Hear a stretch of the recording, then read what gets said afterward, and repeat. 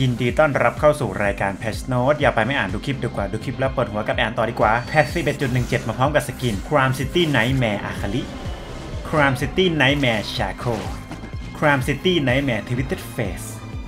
Crime City Nightmare Dalias Crime City Nightmare Syra Brave Phoenix Zaya Divine Phoenix Anivia และ Graceful Phoenix Seraphine เอาละไปดูกันดีกว่าว่ามีอะไรบ้างที่ถูกปรับ Akshan skill Going Rogue Akshan จะชุบชีวิตเพื่อนไม่ได้ถ้าหาก Akshan ตาย skill Heroic Swing damage จากการโจมตีปกติจะลดลงในทุกเลเวลยกเว้นเลเวลแรก แต่จะบวกโบนัส AD มากขึ้นจาก 10%เป็น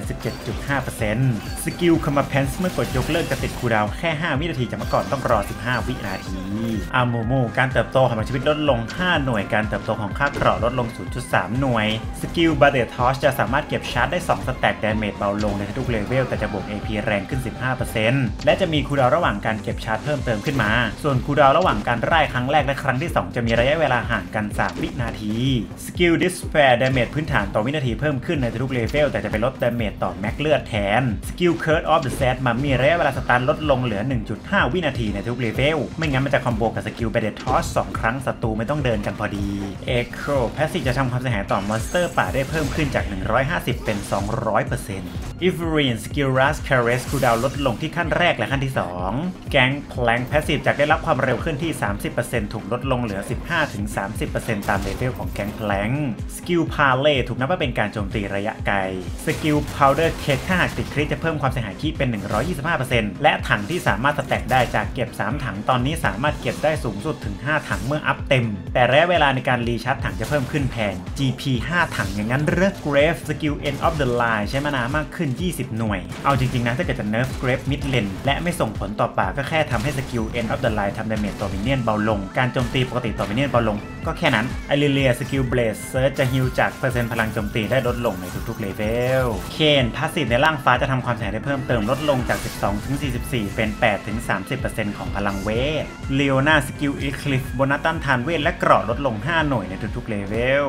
ลีซันดราพลังโจมตีพื้นฐานเพิ่มขึ้น2 หน่วยสกิลไอชาใช้มานานลดลง 5 หน่วยในทุกๆเลเวลลูเชียนพลังโจมตีพื้นฐานลดลง 2 หน่วย passive ที่เพิ่มเข้ามาใหม่คือ เมื่อมีเพื่อนมา buff ให้ลูเชียนลูเชียนจะสร้างความเสียหายเวทเพิ่มเติมต่อการโจมตีปกติได้และสามารถเก็บ stack buff นี้ได้สูงสุดถึง 4 stack สกิล Ardent Blaze ใช้มานานลดลง 10 หน่วยและหากใช้สกิลนี้โดนใส่ศัตรูและเพื่อนร่วมทีมโจมตีศัตรูตัวนั้น จะทำให้ลูเชียนได้รับ stack passive อีกด้วยสกิล The Culling จำนวนกระสุนจากตายตัวกลายเป็นเริ่มต้นด้วย 22 นัดบวกด้วย 25%ของโอกาส crit เข้า แต่ damage ต่อนัดจะเบาลงแทนในทุกเลเวล เหมือนพยายามทำให้ลูเชียนไปโผล่เลนคู่มากขึ้นแทนที่จะโผล่แต่เลนเดียว นามิเลือดพื้นฐานเพิ่มขึ้น 15 หน่วยสกิล Ebb and Flow ใช้มานาน้อยลงในทุกเลเวลยกเว้นเลเวลแรก เซนนา passive จะมอบความเสียหาย crit เข้าเพิ่มขึ้น 10%และโอกาส drop วิญญาณสำหรับ minion และมอนสเตอร์ขนาดเล็กที่เซนนาเป็นคนสังหารจะเพิ่มขึ้นจาก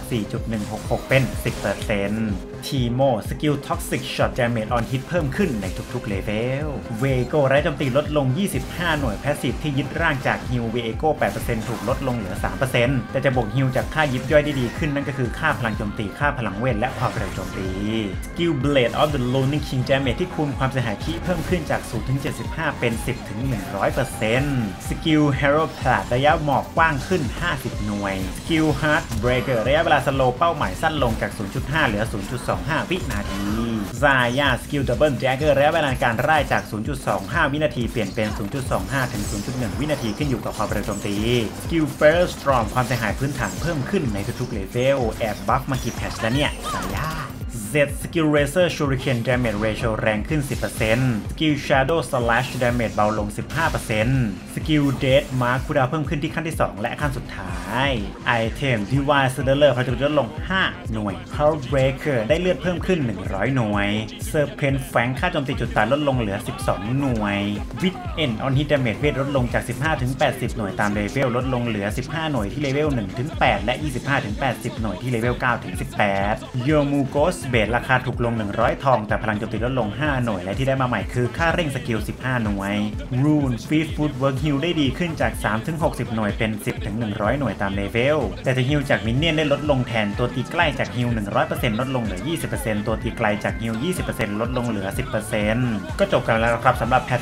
11.17 ในโหมด Summoner's Rift ตัว meta โดนกันทั่วหน้าเลยลามยันไปถึงไอเทมที่ออกกันซ้ำๆก็โดนด้วยเช่นกัน ส่วนตัวผมนั้นขอไปลองอามูมู Q 2ทีก่อนว่ามันจะโหดขนาดไหนส่วน Patch Note TFTมีอะไรบ้างไปชมกัน ใน patch 11.17สำหรับโหมด TFT มีการปรับเปลี่ยนระบบนิดหน่อย โดยตะหลิวที่ได้จะไม่ถูกคำนวณในไอเทมส่วนผสมที่ดอกงงไหม อย่างเช่นในเกมนี้ถึงจำนวนไอเทมส่วนผสมสูงสุด 6 ชิ้น คุณก็จะมีไอเทมทั้งหมด 6 ชิ้น โดยไม่นับตะหลิวอยู่ในนั้น เผ่าและคลาสต่างๆ ถูกปรับ ดังนี้ ผู้พิทักษ์ถูกเปลี่ยนเงื่อนไขในการได้รับ buff โดยคนที่ได้รับ buff คนแรกคือผู้พิทักษ์ที่มีจำนวนไอเทมสูงสุดและถ้าหากจำนวนไอเทมเท่ากัน คนที่จะได้รับ buff คนแรกคือคนที่มีความเร็วโจมตีสูงสุดแทน ส่วน buff ความเร็วโจมตีที่ได้รับจะได้รับลดลงทั้ง 6 และ 9 ยูนิต ส่วนโล่ที่ได้รับก็จะได้รับลดลงที่ 3 และ 6 ยูนิตปะทะได้รับโล่ลดลงที่ 3 และ 6 ยูนิต ส่วนพลังโจมตีต่อวินาทีเพิ่มขึ้นที่ 6 และ 9 ยูนิต เสริมเวทจะไม่มีจำนวน stack สูงสุดอีกต่อไป แต่พลังเวทพื้นฐานที่ได้รับลดลงทั้ง 2 4 6 ยูนิต และ stack พลังเวทที่เพิ่มขึ้นต่อการร่ายลดลงที่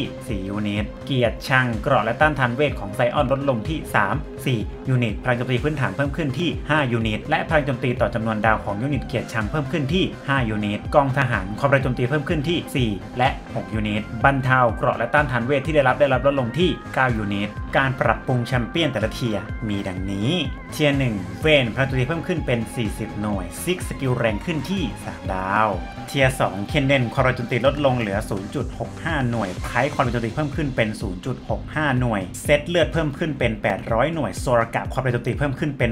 0.65 หน่วย tier 3ลีซินเลือดลดลงเหลือ 800 หน่วยสกิลเบาลงที่ 3 ดาว นิดเดลีหลังจากแปลงร่างเป็นเสือจะหลบหลีกเหลือเพียงแค่ 40%แล้วความเร็วโจมตีที่ได้รับก็ลดลงที่ 1 ดาวและ 3 ดาว ลาคานสกิลจะเบาลงที่ 3 ดาว และ heal จากเลือดที่หายไปได้รับลดลงที่ 3 ดาวเช่นกัน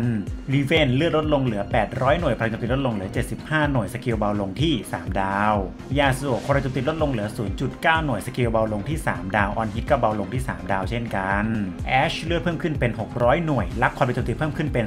0.65 หน่วยมิสฟอร์จูนสกิลเบาลงที่ 3 ดาวน็อกเทิร์นสกิลแรงขึ้นที่ 1 ดาวและ 2 ดาวแต่ 3 ดาวเบาลงแทน tier 4ดราเวนความเร็วโจมตีเพิ่มขึ้นเป็น 0.8 หน่วย Fiddlesticks สกิลเบาลงที่ 1 ดาว และ 2 ดาว Karma สกิลแรงขึ้นที่ 1 ดาว และ 2 ดาว Vel'Koz มานาในการใช้สกิลเพิ่มเป็น 90 หน่วย tier 5 Gwen สกิลแรงขึ้นในทุกๆ ดาว Heimerdinger ความเร็วโจมตีลดลงเหลือ 0.7 หน่วยแถมใช้มานามากขึ้นในการไล่สกิลเป็น 160 หน่วย Kayle เลือดเพิ่มขึ้นเป็น 800 หน่วยความเร็วโจมตีเพิ่มขึ้นเป็น 1.15 หน่วย Viego สกิลแรงขึ้นที่ 2 ดาวแต่ความเสียหายต่อวินาทีเบาลง 50%และการเลือดลดของยูนิตที่ Viego สังหารได้เลือดจะลดไวขึ้นที่ 1 ดาวและ 2 ดาว Akshan ความเร็วโจมตีลดลงเหลือ 1 หน่วย Garen จากมานาเริ่มต้น 100 ใช้ 170 เปลี่ยนเป็นมานาเริ่มต้น 80 ใช้ 160 หน่วย และ damage จากเลือดที่หายไปของเป้าหมายจะแรงขึ้นเป็น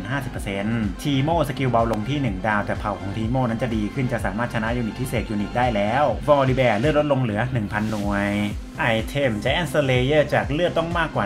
1,750 ถึงจะแรงลดลงเหลือ 1,600 หน่วยแทน สกิลและ auto attack จะแรงขึ้น 20%ถ้าหากเลือดน้อยกว่า 1,600 หน่วย แต่ถ้ามากกว่าจะแรงเป็น 70% d i v a l a p a l a Stone Plate จะ regen เลือดเพิ่มขึ้นเป็น 3% g a r g o y Stone Plate จะได้รับเกราะและต้านทานเวทเพิ่มขึ้น 20 หน่วยต่อเป้าหมายที่ถูกเล็ง Hex Tech กันเบทถ้าหากเลือดเต็มจะได้รับโล่เพิ่มขึ้นเป็น 400 หน่วย ก็จบกันไปแล้วนะครับสำหรับ patch